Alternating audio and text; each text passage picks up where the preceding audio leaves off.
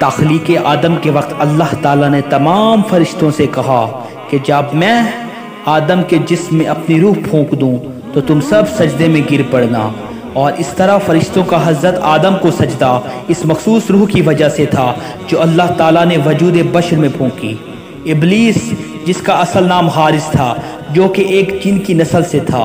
लेकिन फरिश्तों के दरमियान कसरत से इबादत में मशगूल रहने की वजह से वो खुदा के ममताज़ इबादत गुजारों में करार पाया और इसने छः हज़ार साल तक खुदा की इबादत की और ये मकाम हासिल किया। आदम को सजदे करने के वक्त जब तमाम फरिश्तों ने हुक्म इलाही से फ़ौरन आदम के सामने झुक गए, लेकिन इबलीस ने तकबर की वजह से सजदा करने से इनकार कर दिया। और काफरीन की सफ़ में शामिल हो गया और इसी तरह जन्नत से हमेशा के लिए निकाल दिया गया। निकाल। निकाल।